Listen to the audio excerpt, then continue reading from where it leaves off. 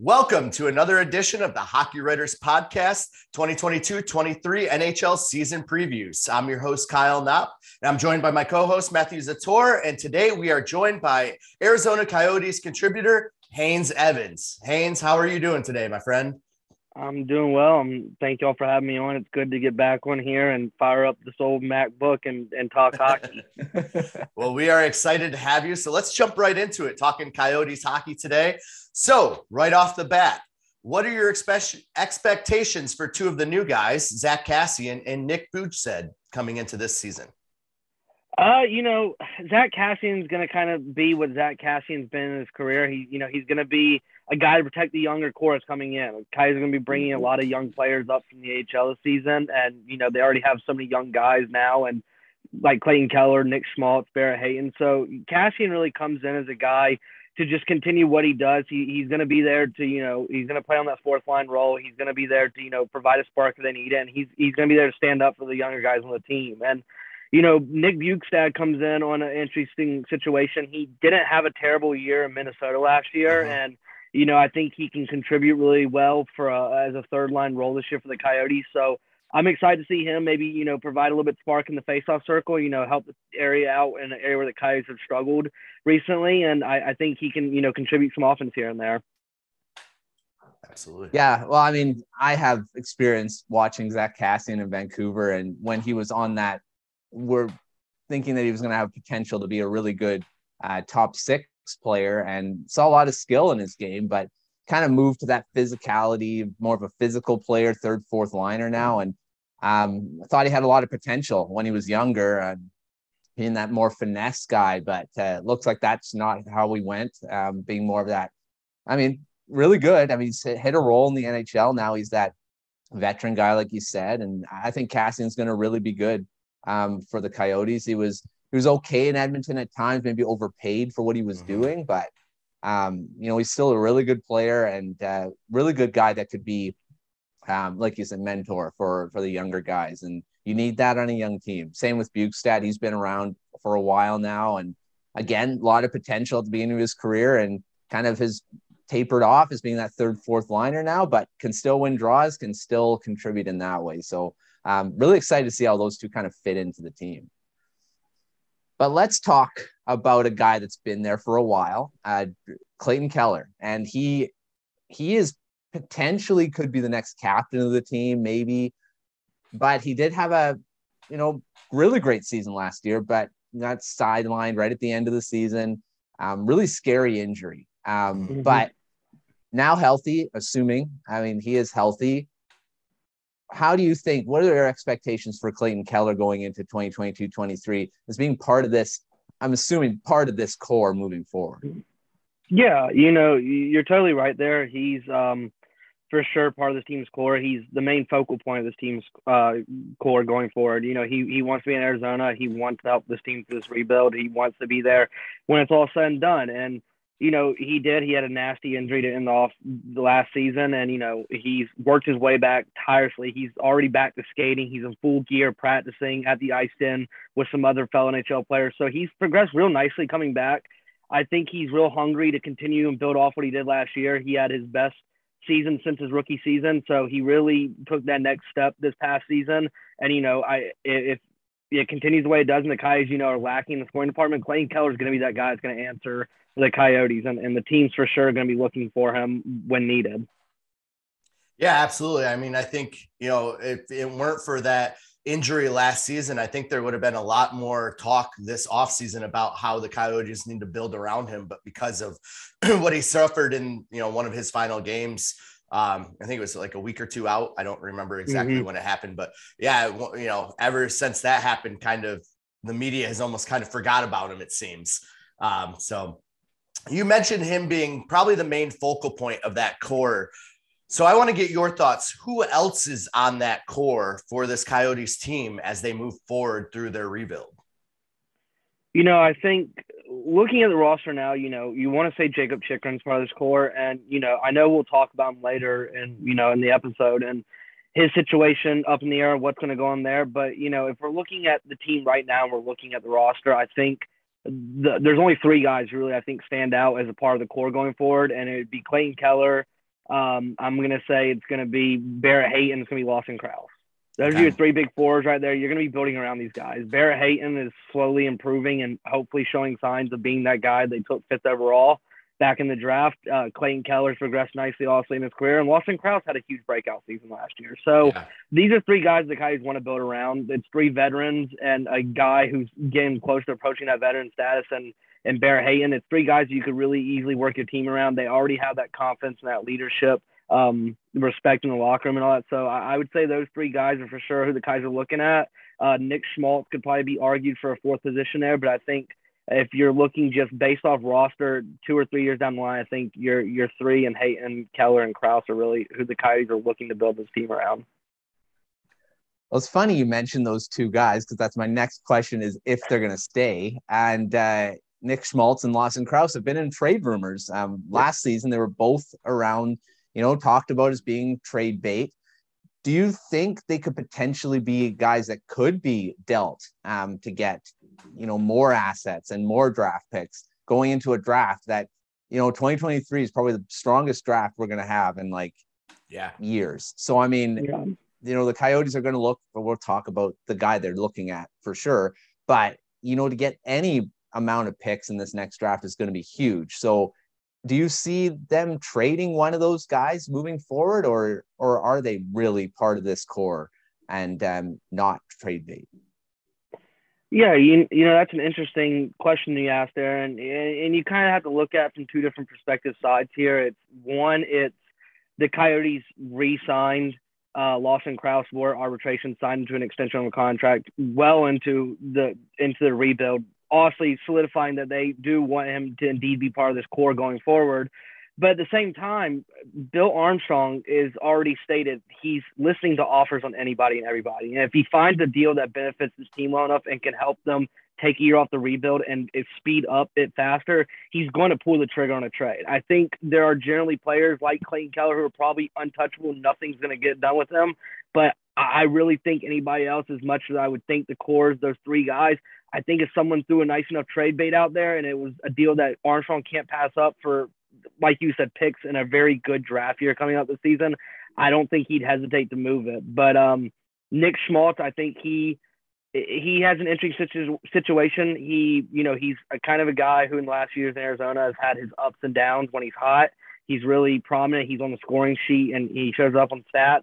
But when he's cold, he's invisible on the ice most nights. And he had that last season. And when he was hot, he was really, really hot. And I think that's what the Coyotes are going to look at this year is if he can play hot and remain hot going to the trade dead- uh, deadline, I think the Coyotes could look to move him. But if he stays cold and goes into one of the slumps, I think the Coyotes would probably end up keeping him through next season just let his contract play out. That's the tough thing about when you're in a rebuild and you have guys that are out playing, uh, you know, the rest of the team essentially is when they're hot, you almost have to move them. And even if they are, you know, key pieces for the future, uh, you're more likely to get something better out of them if you do move them when they're having a big season. But at the same time, you know, you're looking at your team and you're like, all right, we kind of need them for the future. So it's a big catch 22. yeah uh, unfortunately, when you're in that situation in the standings. But you know, you've we've talked about some of these young players. So I want to get your thoughts on which of the young players, which one do you see taking the biggest step forward this season? That is one probably the biggest question for the Coyotes this offseason. You know, people want to be Logan Cooley, people want to be Dylan Guenther, and I know we're going to talk about it, so I'm not going to share my thoughts in there. But I- I'm looking at guys now who are in the AHL who I think are going to take the next step to the NHL, and and two guys who stand out for me is Victor Soderstrom on defense Yep. and Liam Kirk going forward. I think those are two guys who have done really well developing down in the AHL in Tucson with the Roadrunners, and I think um, Liam Kirk had a terrible injury to begin half early in the beginning of last season, and, and it caused him to miss the rest of the year. So I think he's going to come out with that renewed passion, and he's going to show up in, in train camp. And I think he's a guy that easily could be on the roster starting this upcoming season, and it could make an impact. And Soderstrom's going to be a little different situation. The Coyotes have 11 roster defensemen right now heading into the year. So, eh, you know, I, I want to say guys like Moser could take the next step, but right now with who the Coyotes have added, it's it's really a toss up of who's getting playing minutes on night and, and who's going to go down and, and start back in the AHL and conditioning. So I want to say out of the young guys, it would be uh, Soderstrom, Kirk. If I'm saying guys from the AHL, if I'm looking at NHL, I would say that JJ Moser probably continues to take forward strides in his progression of his game. Love it. I love that call out of Liam Kirk too. Yeah. So I I I am rooting for him so hard. Mm. he's yeah, he's a Kirk fan is. favorite for sure. Oh yeah, yeah, he is. wow, you mentioned two guys that I probably two of my favorite guys in the last few dra- couple drafts. Dylan Guenther, Logan mind. Cooley. We have talked about these guys on Howlers and Growlers multiple times um, before it was um, unfortunately gone. Um, but and oh, we lost the host too. So yeah, he, he's actually working for the actual team now. So yeah, yeah, he, got, he got called up to the big leagues. Oh. Uh, he's a step. Hope you're watching, Pat. Well, Pat, Pat. He he'll be on uh, Prospect Corner coming up, so uh, we'll get to see him. Uh, but yeah, on there. they have both of you guys on. We'll, like Please, just re just see if we can rebuild that chemistry. All right. Well, let's get to talking about these two. I mean, these guys are probably the most exciting forwards that are coming up for the Coyotes in the NHL in general. But uh, so Dylan Guenther had a heck of a season last year in the WHL. Unfortunately, got injured uh, towards the end. Couldn't compete in the Memorial Cup, which is unfortunate because I think the yeah. team really missed him. Yeah. Um, and Logan Cooley, who's been lights out since you know all year. Uh, great showings at any international tournament he's been in. Do you see any of these guys making the team out of training camp, or are they both back to their junior teams?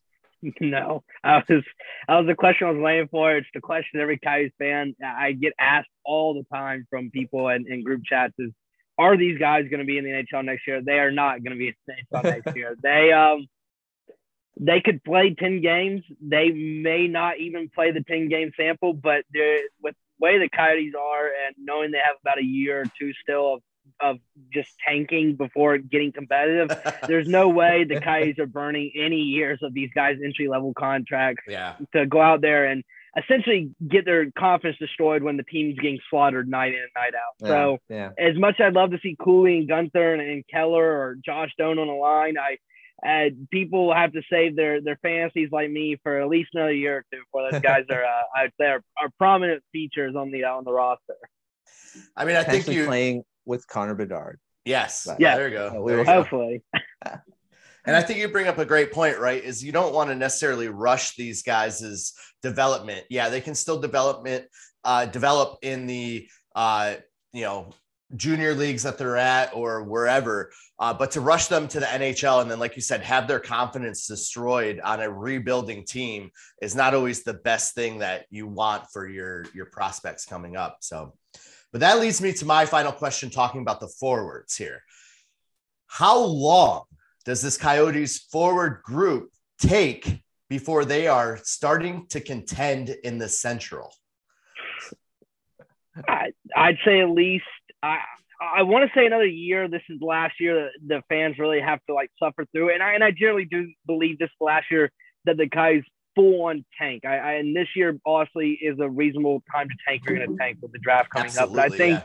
next year, while the Kais are not going to be a competitor next year, I think that they finally move to bringing up key pieces of the roster next year, and they actually get into trying to compete to win hockey games. But I think I, I'd say two more years before they're actually competitive but at least at the most, it makes guys comes better, feel better. It at least one year left of just absolute misery watching us lose on a nightly basis before the team is hopefully winning at least as much as they're losing. So yeah. it, it's still a long ways away, but you know it's gonna come sooner than rather than later. They're gonna be at the end of it, and they're gonna be competitive. Nice. I see that too. I, I yeah. think probably this one more year and best year to do it with who's at the top of the draft and who is in the draft in general. I mean, even if they don't get the first overall pick, you're going to get a heck of a player. Yeah. Um, they, I would argue third, generational. They're, they're fine. Yeah. yeah. Even if you're in that top five, I mean, my gosh, yeah. you're going to oh, get yeah. some. yeah. Um, the yeah, top 10 is, is a guaranteed win. If you get anywhere in the top 10, you're, the top 10 of this next year's draft, this upcoming year's draft, no offense, but makes the top 10 of last season's draft look like a joke yeah. in, in, terms of the, just the skill level of the two. Yeah, no, I, I definitely agree with that. So, um, you know, I do see that timeline. It's a pretty realistic timeline for them. So um, we'll see how it all plays out. All right, let's shift over to the defense and talk about a couple of the new guys here. Another guy that I'm pretty familiar with, uh, coming from Vancouver. Um, Troy Stecher, also in Detroit, um, played in Detroit as well, and was pretty good there. I really yeah. liked him over there. So, Troy Stecher, Josh Brown came over from the Senators. Um, what do you think about these two guys? What are your expectations? Um, are they similar to a, a Kassian, or will they provide more a bigger role than uh, expected? you know, I, I wouldn't go as far as saying they're Kassian in terms of they're just going out there to, you know, just kind of be that physical presence and, you know, kind of protect the young guys. But um, at the same time, I mean, these are guys who on most teams are going to be third pairing defensemen. I mean, they're they're out there to play on a Coyotes team that just needs to keep the puck out of the net. And I mean, honestly, not try to win as many games as possible, but at the same time, don't let your team get blown out or leave Karel Vejmelka out to dry every night. So, um, I think it's really it, these guys come in on kind of a role similar to like Patrik Nemeth, who got brought to Arizona in a trade. Is you're here to kind of you know be that voice in the locker room, be that veteran presence in the locker room, and you know they have experience of playing like Josh Brown and, and Ottawa playing on a rebuilding team. They know what it's like doing that situation, and you know that's kind of their role here. They come in, you know, help keep the puck out of the net, help mentor these younger guys in your roster, and you know just help kind of get these guys through it. I mean, a lot of these guys are going to lose mentality as the season goes on. You lose that confidence in yourself when you're losing. So guys like Josh Brown and Troy Stecher who've done this, who've gone through this in Detroit and in Ottawa, they they know what it's like to lose and how to deal with losing, knowing it's going to get better in time. So I think that's going to be their biggest role. The team's going to kind of use them in. Yeah, I forgot about Nemeth. I, I should have added him too. another another guy from Detroit. Uh, so I like Stecher. right? I, I thought he was a great puck moving right handed defenseman, and he was a, a, alternate captain for the uh, World Championship. So he yes, brings yeah. in uh, a lot of experience and a lot of leadership to that team, and especially as a third pairing, like I think that's going to be mm-hmm. huge for some of these younger guys. Yeah, I was advocating for Stecher to come back to Vancouver, but uh, I didn't happen. Didn't quite happen. Arizona called to him. He, yeah. Arizona called home to him. He had just he had take up. Apparently, they were talking to him. So I don't know. never know. We never know. All right. This is the only question that matters, Haynes, because this is the oh, only oh, one gosh. people are tuning I know, into. I know what this is. Yeah, I know. Let's this talk. Be the title of this episode. Yes, Jakob Chychrun. Let's talk Jakob Chychrun. Will he be traded before the deadlines, or has Arizona changed their stance on him being as part of this rebuild of the future? This is probably the question y'all asking that's going to give me a lot of hate from people on social media uh, in terms of what my answer is here because I, I never fully have come out and said what I think my answer is on here, what my mm-hmm. opinions are. Kind of kept quiet on it. I first things first, for people to get out of the way, there has nowhere been mentioned that Bill Armstrong has outright said that he wants to get rid of him. He has not right. said that. He has been said the he has said the opposite. He wants to keep Jakob Chychrun in Arizona. Jakob Chychrun has not come out and said he wants to be traded either. He has said now that he wants to play playoff hockey at his age, which is yeah. understandable. But he has never said I don't want to be here in Arizona. Move me out. He's already trained back with the team. He talks highly of his teammates. He likes the situation he's in. So I mean, it, I think one side of it, it gets looked at as um, in Jakob Chychrun's just dying to get out of here. Bill Armstrong has been dying to move him. It's not that. I, it comes back down to Bill Armstrong would love to keep him around if he can. He's a young defenseman, a very good defenseman, and would love to keep him around. But at the same time, like we said before, it, there's no price that's wrong here. I mean, if yeah. someone throws out two first round picks, for example, in the first round of this year's draft, you're going to take that deal if it, and all that just with the magnitude of this draft coming up. So, um, I don't personally feel like he will be moved this season. I know that's a bummer. A lot of people I, who would just love to, to me to think that he's going to get moved, but I don't think it does happen personally. Just because I think what the Kaiser are asking for, there's a lot of teams that are not willing to give up their draft capital this year, especially in this year's draft. Yeah. I don't think it happens. Um, crazier things have happened, it could definitely get done. And if it does, then I wish him the best. And I know for Coyotes fans, they will be happy if he does get moved because then they'll be done hearing about all this trade drama. So um, I, I, don't personally think it happens. I think he's a Coyote through the season. Um, unless he outright comes out and says something, uh, I think that's how it's going to be until we hear differently from either side. Yeah, and so for what it's worth, I have a little bit of inside information. Uh, actually, uh, Chychrun's cousin lives out here in the area, and I worked with him this summer. He's going to play college hockey. Uh, is a he's a 19 uh, year old freshman uh, this oh. year, but I worked with him this summer, and and he told me that Jakob and his girlfriend just bought a house in Arizona, and they ah. love it. And his girlfriend hates the cold. So, oh. you know, take that oh. for what you want. take that for what you oh. want. Uh, but my my, sound... my words aren't looking so bad now. I am not looking like such a bad guy. I appreciate that. Yeah. So there, there's my insider information for you. yeah. Well, he it, if it hasn't happened yet, I don't think it's going to. I yeah. thought you know if it was going to happen, it was going to happen around the draft. Um, you know, it seemed like Arizona, if they are, if they were looking, they're mm. definitely wanted a lot. Yeah. Um, yeah. and to, no team wanted to pay it. So and I, yeah.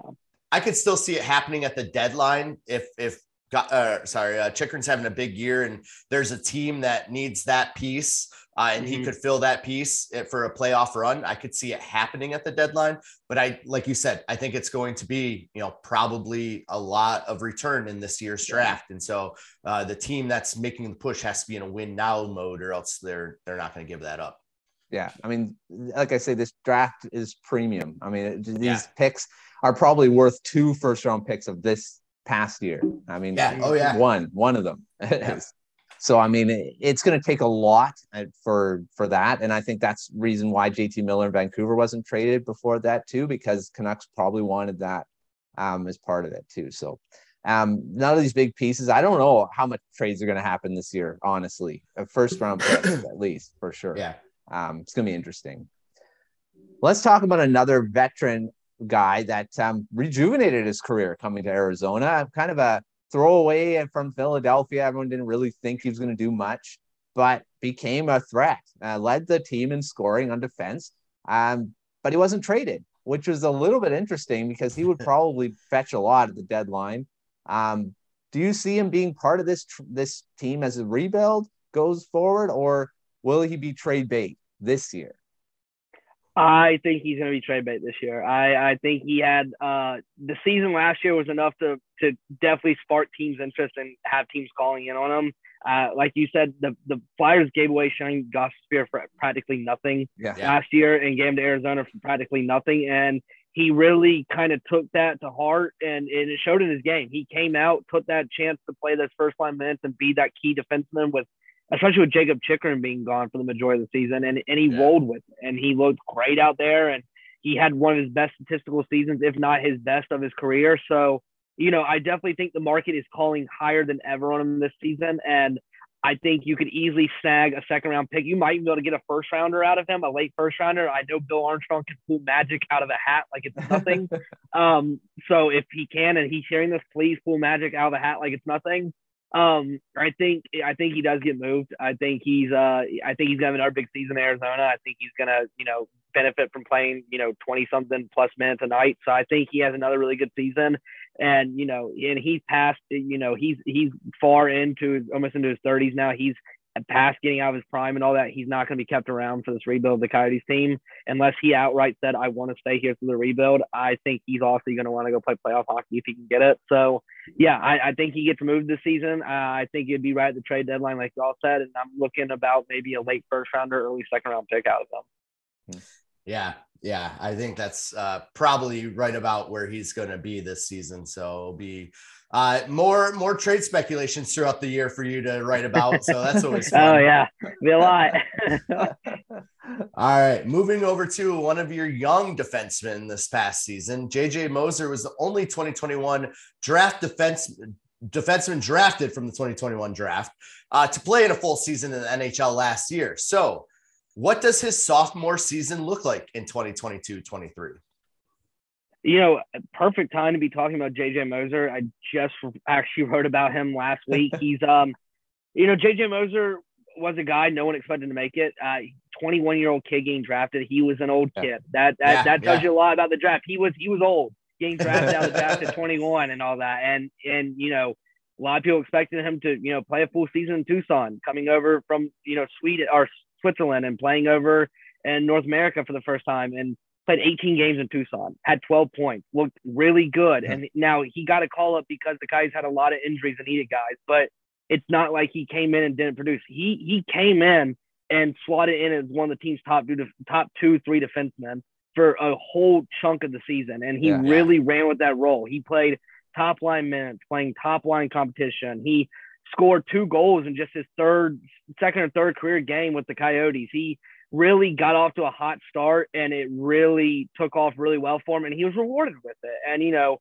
being a rookie, honestly, he saw that burn down come near the end of the season. He got frustrated with himself. Fatigue eventually catches up to you when you're playing, you know, guys like the McDavids and the Ovechkins and the, you know, Matthews and MacKinnons and all that. And eventually caught up to him and, you know, he fatigued and he slowed down and frustration shows in a year and a in a long season like a rebuild is. So um, you know, his biggest area for him is just working on his game. You know, he has areas he's got to work on, like all young kids. He, he turns the puck over a lot um, and all that. And he's not the greatest when he's got the puck in his zone about getting the puck out. Um, so he's got areas of his game to work on. Um, but you know, he's poised for a big season. Like I said earlier, I don't know where he slots uh, with the defenseman having 11 rostered right now. He could benefit from going down to the AHL to start the season, but I think if he stays up, I think he has real solid shot at you know at least a second line pairing on defense there, and you know more solid minutes. He proved it last season, and if he can just critique and you know fine tune his game, I think he could play a big big role for this team. Yeah, yeah, de- definitely agree with that. I like JJ Moser. I I was actually surprised when I was looking at him. I was surprised he was actually drafted in the 2021 draft, and I was like, "It's insane." I thought he was. I thought oh, he was yeah. drafted like a couple years ago. no, he's like, no. yeah, he's an old old drafty. Yeah, yeah he's an old yeah. drafty. Yeah, and he's a second round pick too. So, yeah yeah, so he's going to be interesting to see what he does in his next year. I hope he does like what you said, um, keep keep moving forward because I, I really like this game. So um, we'll see. Um, you already mentioned the young defensemen are going to step forward, so we'll skip over that because we were kind of ready if it's uh, Soderstrom. So um, let's move over to the goaltending now. And they have got a new goaltender um, to pair with Karel Vejmelka went through a ton of goaltenders last year. I think, uh, yeah, yeah, like couple, like, couple, like nine, I think. them. okay, let's let's not completely trash the Yotes here with nine. no, I think it was like seven or eight though, wasn't it? I mean, it was uh, kind of a lot. Give, give, me a quick second here. They had Milka, they played Carter Hutton, Scott Wedgewood, and uh, Harri Säteri, and that was that was and then Ivan Prosvetov. So yeah, five. I think they went okay. through five goalies. Five goalies. Okay. I and uh, there's one of the East Coast teams, and I, I, I obviously did not prepare for this little tangent. Uh, but there's one of one of the East Coast teams played like seven or eight goalies this year. I don't remember who it was. It might have been uh, Washington, honestly. Um, but yeah, so I, I thought I thought uh, they were up uh, there. They were up. Yeah, there. they were up there quite a yeah. bit. So I, I knew it was kind of a lot, but uh, yeah, I didn't mean to throw you under the bus there. No, so. it's okay. I was I was honestly waiting for the ECHL call ups from the guys from uh, Rapid City. So it really doesn't. I, I honestly expected more goalies as the season went on. So I was surprised it was as low as it was. Well, let's talk about a new guy that's coming over from New Jersey. Wedgewood played in New Jersey too, but uh, Jon Gillies, and he was pretty good in New Jersey. I, you know, Christy, who covers the New Jersey Devils that really liked him. I know I've read a few of her articles about him. So, what are your expectations for Jon Gillies coming in? You know, potentially the backup. He could potentially be the starter. Um, I'm yeah. assuming Vejmelka will take that starter role, but they could also do a one A one B thing. What do you think about Gillies? Yeah, you know, I, I, the Coyotes seem to be really lucky in, in grabbing Devils goaltenders and them doing something in Arizona. Scott Wedgewood's the streak breaker twice in Arizona. He's got his own parade that I host at home that no one else knows about, but I, I throw one for him um, every year and all that. But uh, yeah, I mean, it, he's in, um, you know, he's a really strong goalie this year as a backup. You know, he's played sometimes in St. Louis as well, and he's a really solid AHL guy as well. So even if he doesn't start this season as the backup, he's a really good goalie who I for sure is going to get looks this year. Um, a, a, guy we did forget to mention that they did have six goalies was Josef Kořenář. He did play one game oh, last yes. season for the Coyotes. They had six goalies play. Um, he is back this season. Um, there's a good chance he could go for that backup position. I think it's going to come down to him and Jon Gillies there and who gets it. But uh, nevertheless, Gillies is a great young goalie. He's like a Scott Wedgewood guy. He can steal games for you when you need him to and all that. But you know, he's not a guy you're going to throw in the starting role and roll with. But you know, if the guys need someone every now and then who can, you know, snag a game, steal a big one from like like to like Toronto or whoever it may be, he's the guy that's gonna. Uh, he's the guy who can get done. So uh, I'm expecting big things out of him. If he ends up being the backup this year to Vejmelka, he's he's got a little reputation to him, and you know, if, if he does great, then I'll add him to the list of uh, parades I throw at home. so I mean, he's got a lot of Ryan for him right now. I love it. I love it. So, all right, so let's talk about Vejmelka because he, I loved him last year. I mean, Pat and I would go back, back and forth uh, during Coyotes games late at night when I was watching them and they're on, uh, you know, putting together the newsletter. And holy cow, is he exciting!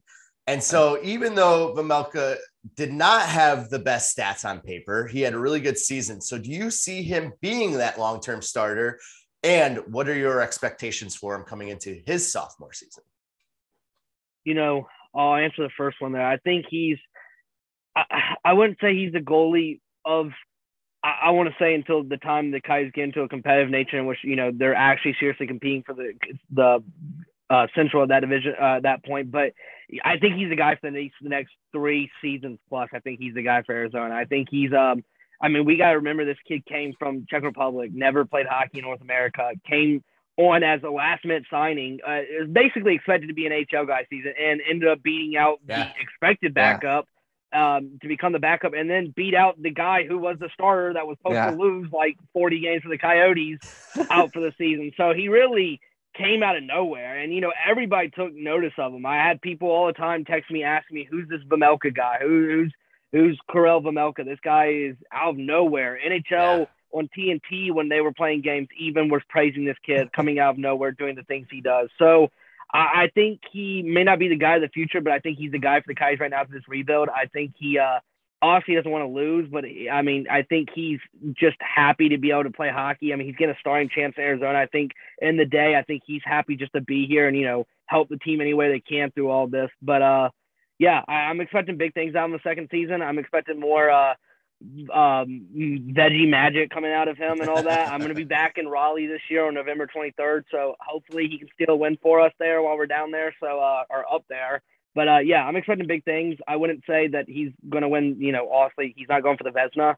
Um, if I've seen one tweet about that. I don't know if that was a joke or not. He's not seeing for the Vezina this season, but uh, I think he's going to surprise a lot of people like he did last year. I think if the Kais can give sustainable defensive help and he doesn't have to face 40 to 50 plus shots a night, which he was yeah. doing on a regular basis, I think you could see him win a lot more games than he did last season. And I think that's only going to help his game grow and his confidence level grow as this team goes through this rebuild. Yeah, I think the biggest thing was him facing 50, 60 shots almost ah. on a nightly basis. Like, mm-hmm. no matter how good you play, that's going to lead to fatigue throughout the season yep. a lot faster. mm-hmm. Yeah, yeah. and tear on the body. Oh, yeah.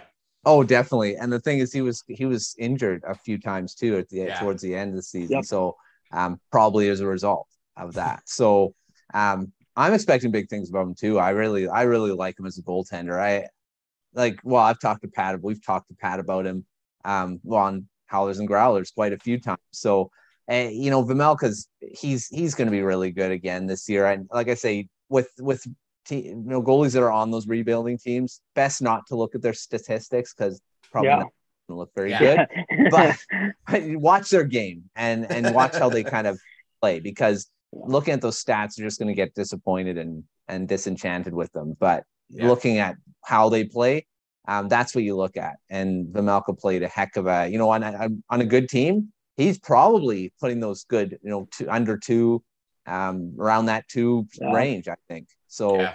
if he gets down to those 20, 25 shots, um, that's pretty good. So we'll see what he does in this next season. I think he's still going to be good, even though his numbers won't look good. All right, let's talk about the head coach. And he's in his second season as well. So sophomore year for him. Uh, coming in, you know, Andre Tourigny, he was you know, did a pretty decent job on a on a team that you know, very tough to coach rebuilding teams. And I really yeah. applaud coaches that have to, um, you know, work with these teams because coming in, expectation is you're going to lose, and that's hard yeah. um, to, to motivate when you're expected to lose every game. So Um, what are you're expecting from Tourigny in his second season? You know, I think he. Uh, I appreciate the call there in his first season. I think he really. Um, I think he surprised a lot of people. You know, like you said, it's hard to come into a team as a player and be told that you're going to go through a rebuild. It's hard also as a coach to say you got to lead guys and tell them not to specifically lose, but you got to tell them, hey, this is a rebuild. We're going to lose a lot of games.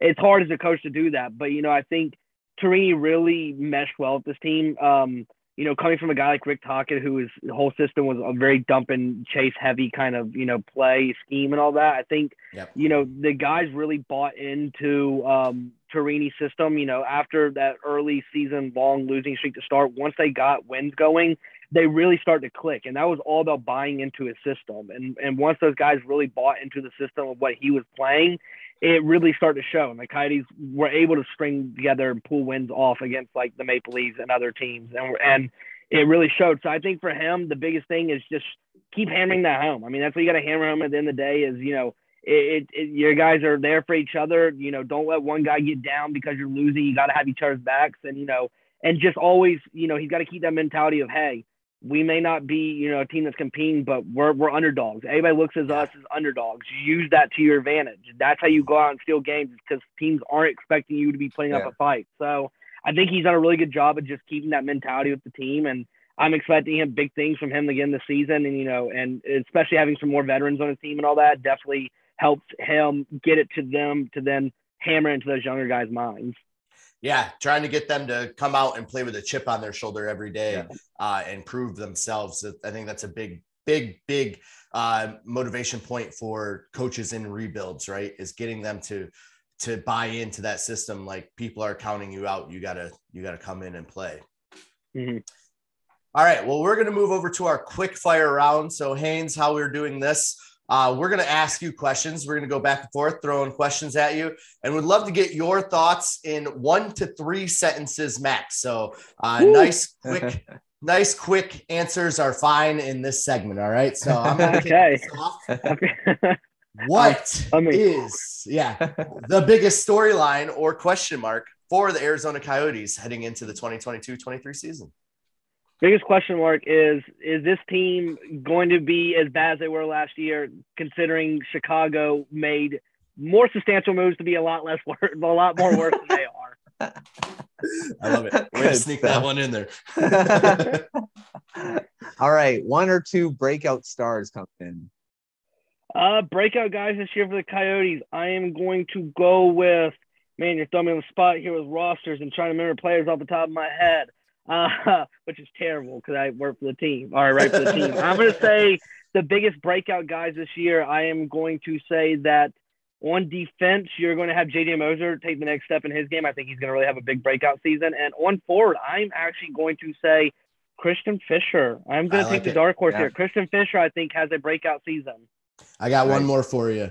In the press box, Pat Brown. Yeah. yeah. Breakout uh, yeah, I think I'm, I'm, expecting big breakouts from Pat this year. I hope he's listening. I'm expecting him to take the next level in his game this season. I'm expecting more. I'm expecting three articles daily uh, out coming from the Coyotes from him. So I'm yeah. expecting more. I love it. I love it. Along with some videos on YouTube. Yes, yes. Yeah, exactly. He's also charged part of that too. All right. Who is one player that needs to have the biggest bounce back from last season? Jakob Chychrun.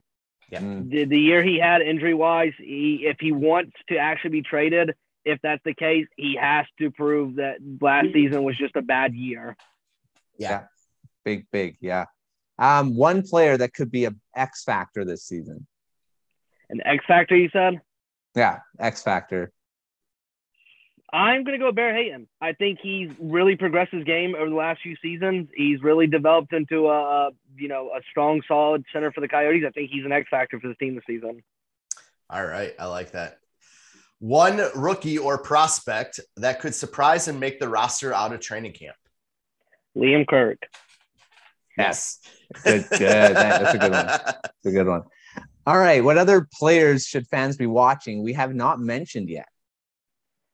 Oh gosh, we not mentioned. And for quick fire, I'm not going so fast here. Not mentioned. Um. Oh, Travis Boyd. he, he had a great Boyd. season last year. He got paid to a small contract. No one expects anything out of him, and he had his best statistical season in his career ever. I expect him to definitely, you know, contribute just as much as he did last season and easily produce the same stats. Love it. Another Love former Canuck. I just love throwing out plenty former of Red. Wings and Canucks for y'all. That's that's all. I mean, that's all we ask for on this show, right? Is just Hey, talk well, talk about that. So, And doing a good job at it. all right. All right. Uh, who will lead the scoring team in scoring from the forward? Clayton Keller, Easy one. Uh, And on defense, Shane Gostisbehere. I like it. Goss's I like it. yes. All All right. right. One player that could be traded before the deadline. Shane Gostisbehere. Good. Yeah, yeah, yeah. We simple talked about enough, him. yeah. already. Okay. One bold prediction or hot take for the coming season. the Coyotes finally win the first overall first overall pick for the first time in their history. Well, that's a good segue to the That's next one. That's a great prediction. Because the next question is Will the Coyotes finish with the best chance of selecting Connor Bedard? yes, they they will finish with the second or third best odds. They will not get the first overall pick. They will fall to third or fourth because the Coyotes have never picked higher than two, and I don't expect them to pick higher than two. Well, they've never picked higher than three, and I don't ex- and I don't expect them to continue that. I love it. I'm expecting yeah. three to four. And I'm going to break it to the Coyotes fans. We're all pretty realistic here. Three, four. If we get first, we'll celebrate. If we're third or fourth, we'll all shake hands. It's a good day. We'll take three or four. And you know what? At, at that pick at three or four is still going to be a huge Oh. game changer, you no could matter get who it is. you could get Michkov, you could get Fantilli, you can get Yeah. oh my gosh. There's going to be Um, so much. It's going to be stacked. And, and who knows who will even break out, you know, this year in their 17, 18 year old year. So, Yeah, yeah. um, there's, there's I have a good few chance. guys that could. Yeah. Well, I'm sure we'll hear quite about them. And Oh, the pros- yes. next prospect corner. All through it. All throughout Prospect Corner. Just to segue into the next Yeah. prospects corner. or second Uh, away, segue into into the end of this episode. Yeah, there, and right. It just rolls next Yeah. video up. So I know, I know. It's going to end right here. It's going to cut off, jump right into prospect corner. If YouTube has their algorithm right, maybe. yeah. well, before we let you go, Haynes, we got to ask you to contribute to one of our favorite sections, which is the article of the day. So we want you to pick from the Arizona Coyote writing team, which I know there's a ton of writers to choose from. we will let you choose your own if you want. So what what do you have for us for your article of the day? Man, he like man, is it tough to look through all those really talented riders on our team right now? Really have to narrow it down there to one. That I think I'm gonna go with this kid named yeah, Haynes Evans. Uh, you know, he seems to be the only guy producing content for the team right now. So uh, no, I'm, I'm gonna plug myself. It's only me here. Um, I I'm not gonna plug one piece. I'm just gonna plug the whole series. I've been doing a whole 2022 off-season review series for the Coyotes. I'm coming down to the final five players. Um, if you want to read them, this is the time to read them now because I'm getting into the good guys who are actually producing right now. So if you want to read about the guys who are actually on the right role right now, this is the time to read about the guys who are on the roll right now. So uh, yeah, that that's a big thing going on right now, um, and all that. Um, final words, I do want to say because it's appropriately saying that I'm wearing a shirt that says "Journey" on it. Um, it is going to be a journey for the Coyotes this season. It's going to Yes. be a journey uh, to see who is on this team by the trade deadline. If if no one gets moved, that could potentially happen too as well. But yes, uh, I will shamelessly plug myself. Please read my off-season review stuff. It's doing very well. I had to work very hard on some of those articles to write stuff about guys like Connor Timmons who played, I think, eight games last season. That was a really hard article to write about a guy who played eight Yes. games in a season and had, I think, one or two points. That was a very hard guy to write about. Yeah, yeah. I was Well, I was really close to asking a question about him, but uh, I will Yeah, put him down now as my dark horse. If you had asked me a dark horse candidate that could be a breakout, I think he generally could. I think if he can stay healthy and get off the injury bug, which has plagued his whole career, yeah, I think he's he's 23.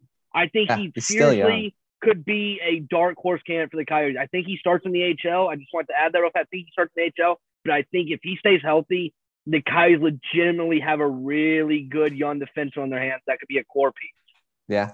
Agree. That's Yeah. awesome. Well, so that's going to do it for this episode of our Hockey Writers podcast preview editions. Thank you again to Haynes for joining us from the Arizona Coyotes. Please make sure you're going over to our Arizona Coyote page and checking out all of Haynes' great work. Uh, you can follow him on Twitter as well. Also, make sure you're following the Hockey Writers on all of our social media Twitter, Instagram. We're on TikTok now. Also, sign up, subscribe down below for our YouTube channel so you can follow along with all of our shows, all of our preview shows, and then our podcast as we get back into it. And make sure you're signing up for the Morning Skate newsletter at morningskate.io to get your daily hockey delivered to your inbox. That's going to do it for us from today's episode of this edition of the Hockey Writers Podcast.